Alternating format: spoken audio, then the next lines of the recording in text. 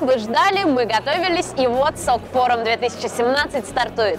Сегодня 22 ноября, и вы смотрите репортаж Без ТВ с самого грандиозного, по словам организаторов, мероприятия в отрасли.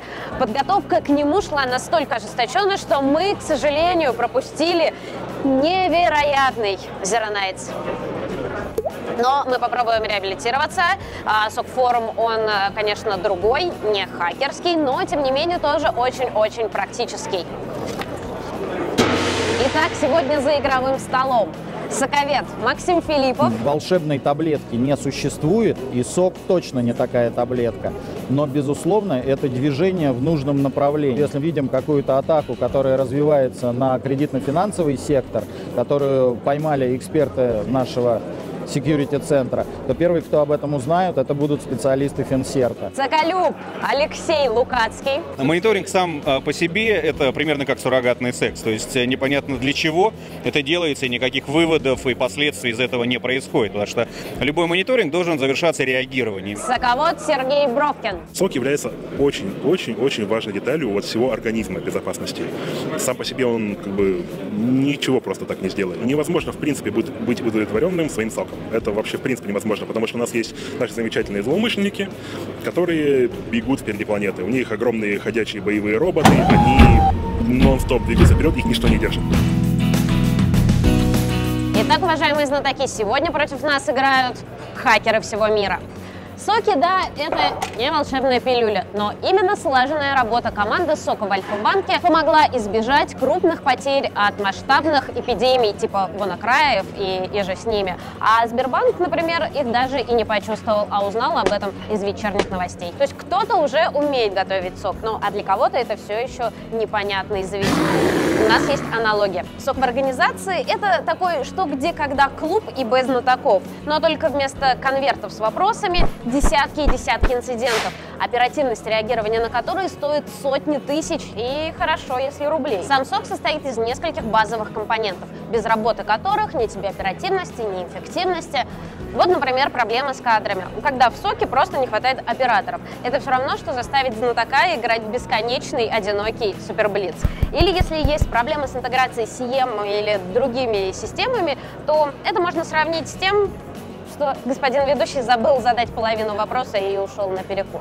И тем не менее, при всей сложности ремесла, соки есть, они работают и взаимодействуют с государственными финсерт и госсопкой. Но какой компонент сегодня тормозит развитие соков? В чем заключается главная главная боль сокостроителей? Кто или что самое слабое звено. Мы поговорили с теми, кто знает об этом не понаслышке и на соках уже собаку съел. Что касается потенциала для роста, для большинства соков, наверное, да, это вопрос превращения экспертизы отдельных сотрудников в э, непрерывный процесс, который позволяет обеспечивать безопасность э, ежедневно, э, оперативно, с необходимым уровнем качества. Это еще история про разработку, это DevOps. Это вообще вот все, что там звездочка Ops, да, все, что есть.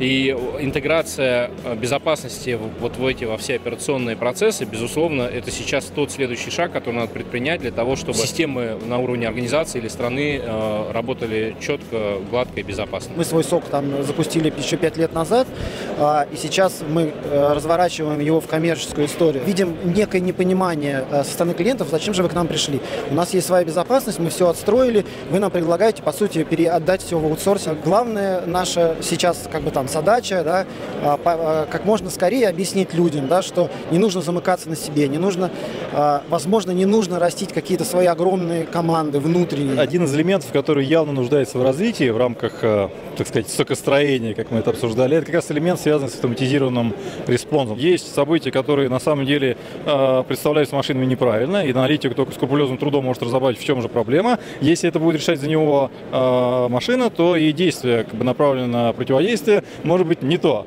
Соответственно, это достаточно большой риск. По общему мнению экспертов, это все же скорее где-то индустрия находится в начальной, пути, в начальной точке этого пути. Самым слабым звеном является общая концепция, которая подразумевает, что мы что-то мониторим, но мы не знаем что. То есть сок это, если взять аналогию с домом, это стены. Но если у нас нет фундамента, то по сути своей нам нет куда брать исходных данных для мониторинга, и мы, соответственно, не можем э, анализировать э, происходящее точки зрения информационной безопасности. И вторая проблема – это то, что при наличии даже фундамента и стен у нас нет крыши, то есть мы не знаем, что с этой информацией делать. Мониторинг сам по себе – это некий э, суррогатный э, секс, непонятно для чего это делается, и никаких выводов и последствий из этого не происходит, потому что любой мониторинг должен завершаться реагированием. Если же мониторинг заключается в том, что мы собираем сигналы тревоги, отображаем красивые картинки и потом распечатываем э, цветные бумажки для э, стола руководителя, то это не сок, это не безопасность, это некая дань моде, которая в ближайшее время пройдет. Для того, чтобы сок, сок заработал, мы должны,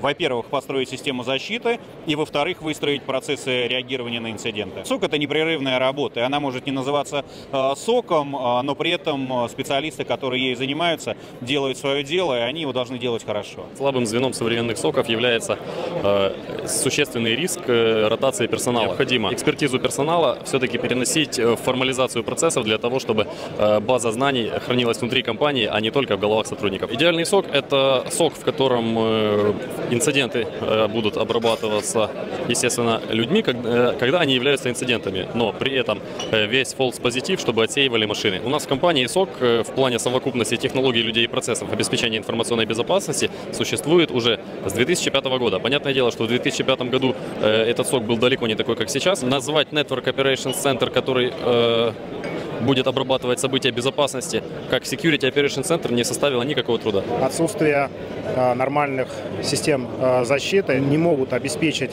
э, соки подчас объективной и необходимой информации в нужное время. Слишком много подчас идет ручной работы.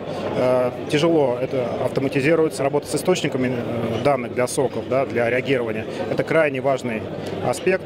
Э, который надо усиливать, и э, ликвидация вот этих слабых звеньев э, позволит создать нормальную безопасность, в первую очередь реальную безопасность. Вопрос наличия кадров, конечно, ключевой. Мы это чувствуем на себе, что привлечь квалифицированных специалистов, удерживать их, мотивировать на работу, это очень тяжело.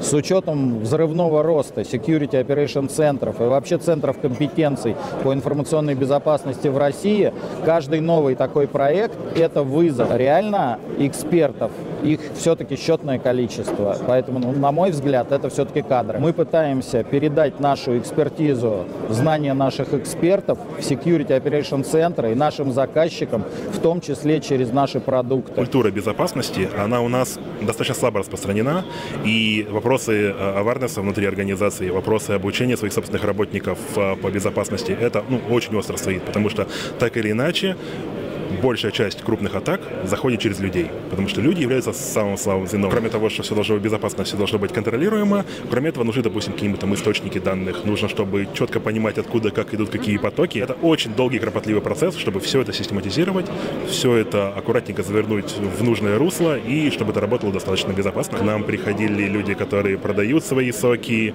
а, мы общались с коллегами, читали статьи в интернете. Если честно, я не видел ни одного, с кем я был бы ну, на миллион процентов согласен и просто все, молиться на него и делать вот ровно как они. Нам приходили люди, которые на словах были просто чемпионами сокостроения, и я вот так вот смотрел на то, что они делают. Это были сокровенные мысли сокостроителей о соках. А теперь немножечко итогов. Как нам рассказали эксперты в своих интервью, проблемы в российских соках есть с самыми различными компонентами. Но главная, главная боль – это, а в то же время и главная ценность – это все-таки люди. Одни сокостроители жалуются на низкий аварность сотрудников в компании в принципе. Другие говорят о незаменяемости сотрудников, когда отсутствие специалиста может поставить под угрозу вообще все. А третьим просто не хватает специалистов, операторов соков. Ну что ж, люди, вы самое слабое звено. Прощайте.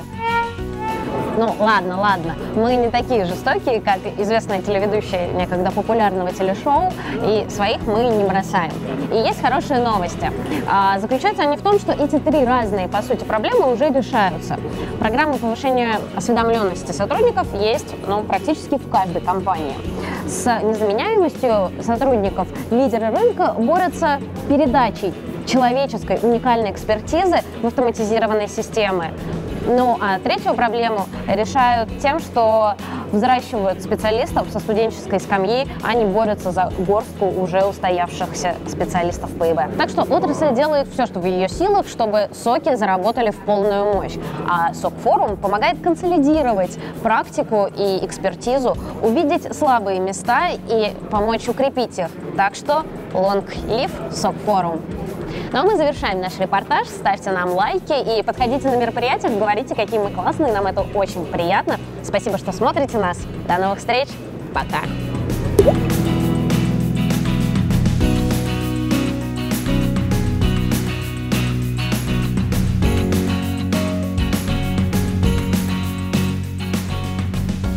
Ляш, ну правда. Давайте посерьезнее.